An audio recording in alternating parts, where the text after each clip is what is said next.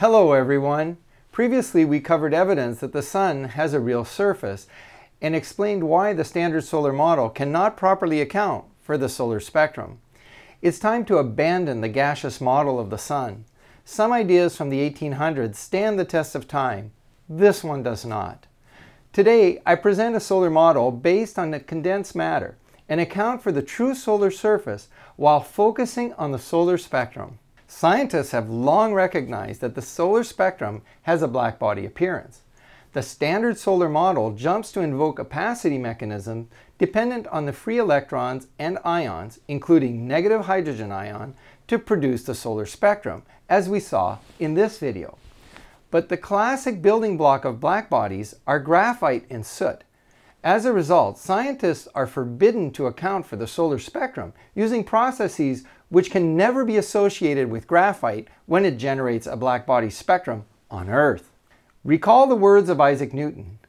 Therefore, to the same effect, we must, as far as possible, assign the same cause. So let's imagine graphite. It has an arrangement of carbon atoms called a lattice. It is also known as crystal structure. In this case, the structure is hexagonal planar.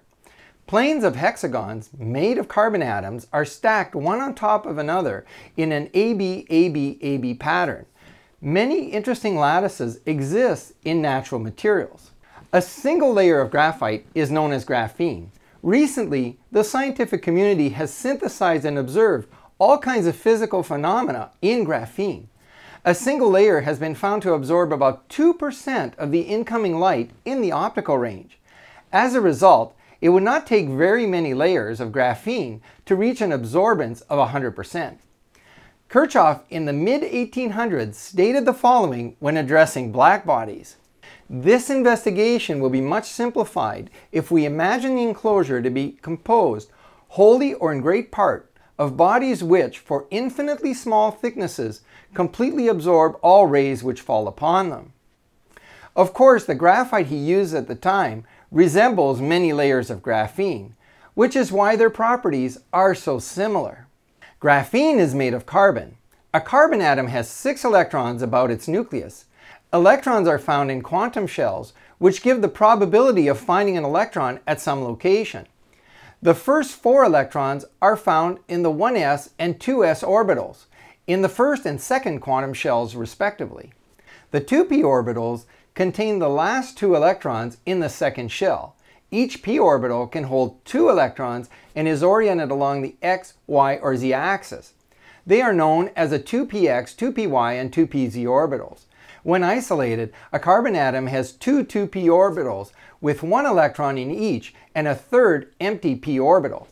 What about carbon in graphene? The two electrons in the 1s shell stay where they are but the four electrons in the second quantum shell get rearranged. The 2s orbital mixes with two of the 2p orbitals, and this is called sp2 hybridization. From the 2s and the two 2p orbitals, we get three new orbitals, each of which containing a single electron. The fourth electron is located in the remaining 2p orbital, which has not been hybridized. A bond is formed by pairing two lone electrons from the hybridized carbon molecular orbitals between two carbon atoms. In graphene, all the electrons in the sp2 hybridized orbitals pair with each other to produce the lattice.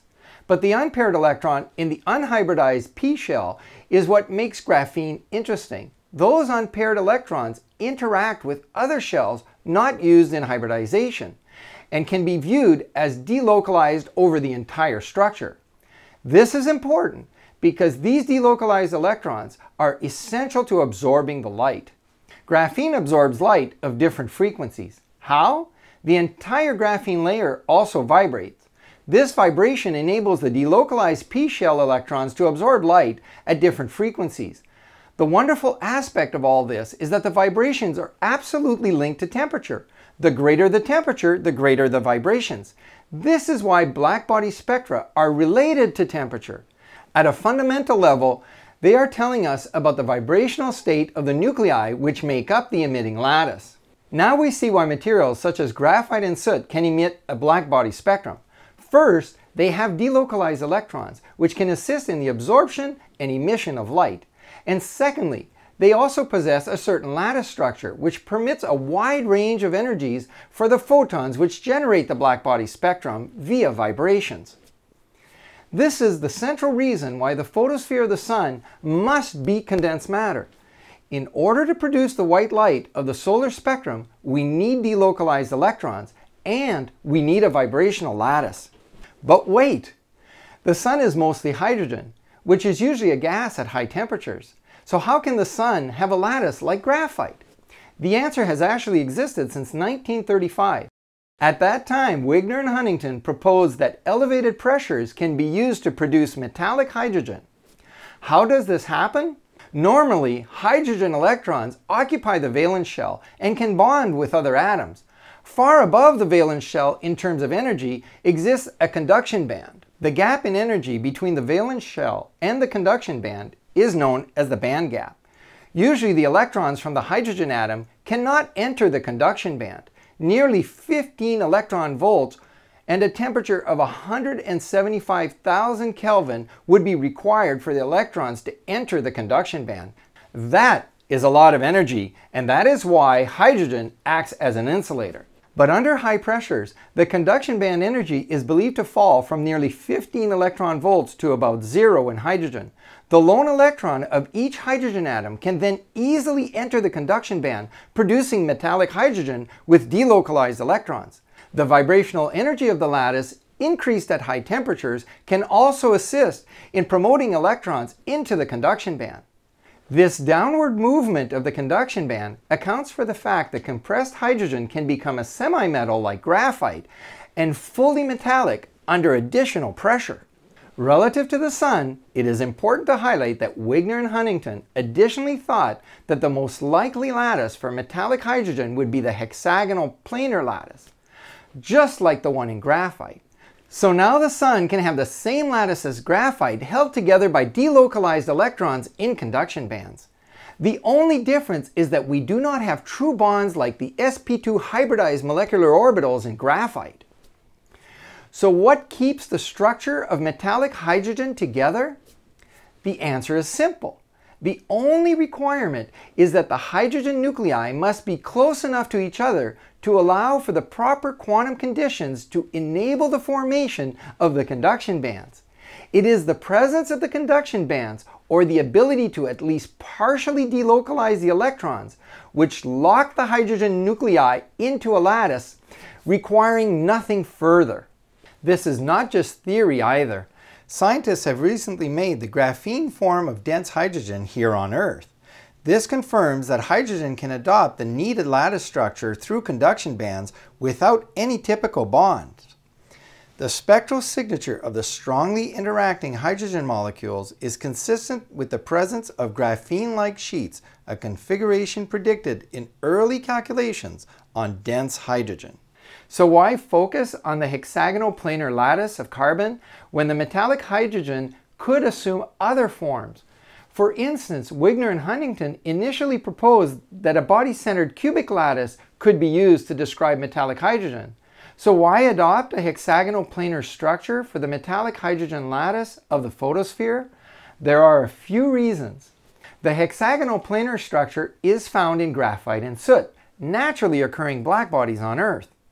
This form of metallic hydrogen could also function both as a semi-metal, like in graphite, and as a fully conductive metal when further compressed. In addition, Neil Ashcroft, a premier theoretical physicist and an expert in condensed matter, has insisted that metallic hydrogen in hexagonal structure can possess the optical properties of graphite itself. If so, it easily explains the optical characteristics of the photosphere and with further compression, the properties of sunspots and faculae as well. In addition, Wigner and Huntington predicted that the hexagonal planar structure of metallic hydrogen would be energetically easiest to synthesize, and it now appears that this has been the case in the laboratory.